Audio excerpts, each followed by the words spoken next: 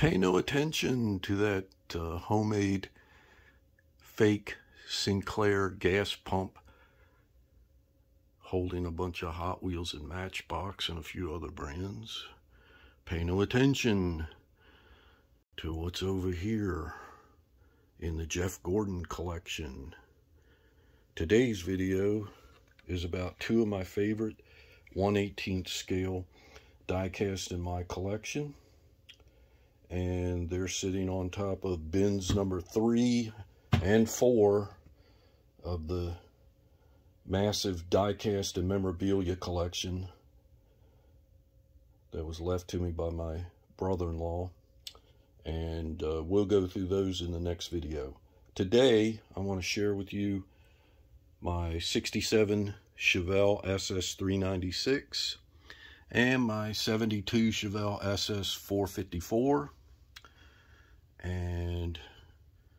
we'll get these off the bases so we can take a closer look at them and even later in the video we'll go over the specs and the prices in real life of these vehicles and talk about inflation even as the prices of these cars went through the roof from 1967 to 1972. So hold on and we'll be back in just a minute. Okay, here we are. Got the cars off the base. Now, in the beginning, on the base you saw there was no manufacturer name on the 67 and there's no manufacturer on the bottom uh, but I happen to remember buying this one myself and this is a road signature which is also a Yat Ming company so 67 Chevy Chevelle SS 396 has one of the features I really like are the red line tires. I'm thinking seriously if and when I buy new tires for my 67 El Camino that I want to get red line tires with no raised white letters. I think that'll look really sharp. So this car has opening hood, chromed out detailed engine. Doesn't look too bad. It has uh, clear plastic inserts and amber inserts for the running light, clear plastic for the headlights. Got a license plate. Tires turn. Steering wheel turns with them. Has opening doors with a detailed interior.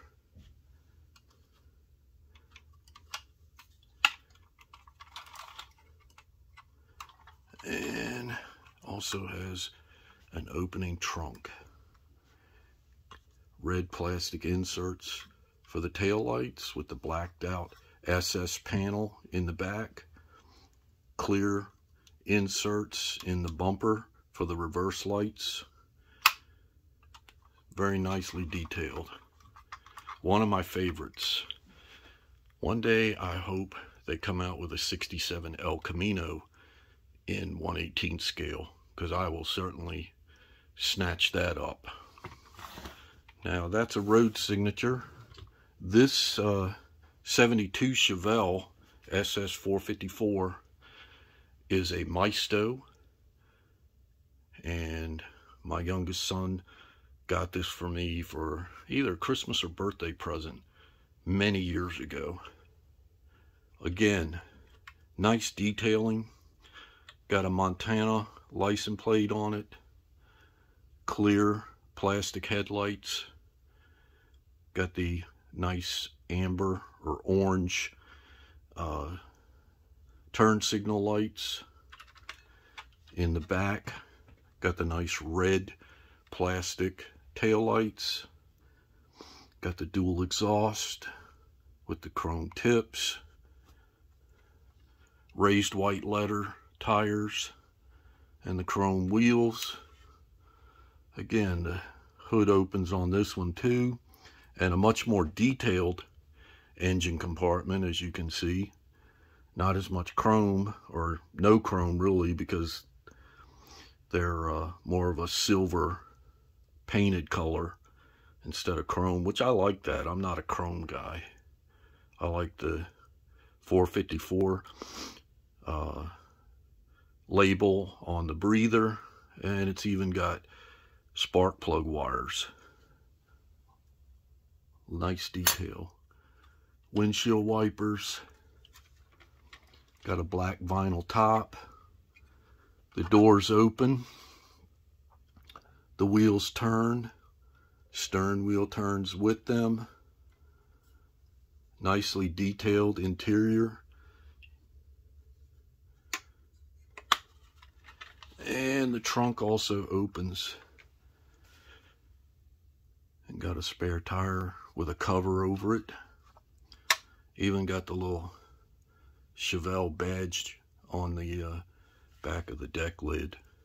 I like the uh, racing stripes and cowl induction on the cowl hood. So, like I said, two of my favorite 118th scale diecast in my collection. And the rest of the video is maybe not for everybody and you can stop watching whenever you want to.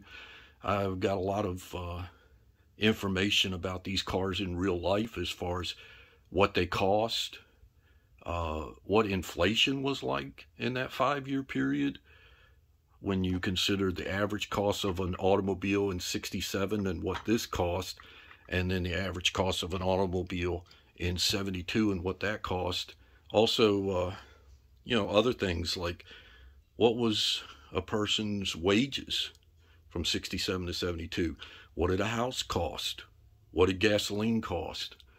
And then I've got uh, some information on the specs on each one of these cars, how many were made, and different specifications that you got from the factory. So if you like that kind of stuff like I do, statistics, then enjoy the rest of the video.